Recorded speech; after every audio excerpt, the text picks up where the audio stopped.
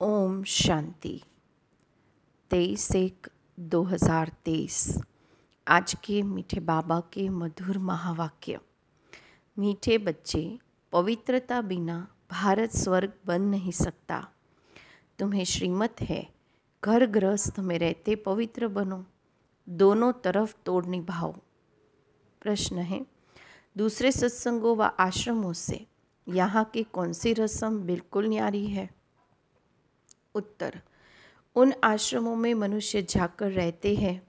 समझते संग अच्छा है, घर आदि का हंगामा नहीं है। एम ऑब्जेक्ट कुछ नहीं, परंतु यहाँ तो तुम मर्जीवा बनते हो। तुम्हें घर बार नहीं छुड़ाया जाता। घर में रह तुम्हें ज्ञान अमृत पीना है, रूहानी सेवा करनी है।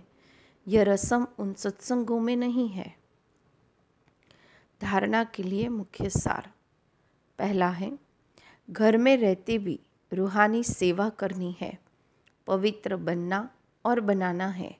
दूसरा इस जी, जीते जागते नरक में रहते हुए भी बेहद के बाप से स्वर्ग का वर्षा लेना है किसी को भी दुख नहीं देना है।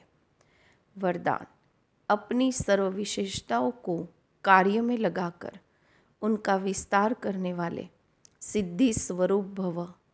जितना जितना अपनी विशेषताओं को मनसा सेवा व वाणी और कर्म की सेवा में लगाएँगे तो वही विशेषता विस्तार को पाती जाएगी।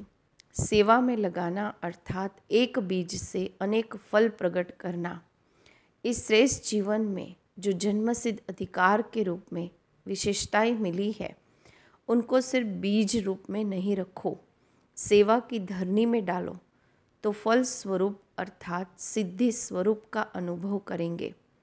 स्लोगन है, विस्तार को न देख, सार को देखो और स्वयं में समा लो यही तीव्र पुरुषार्थ है।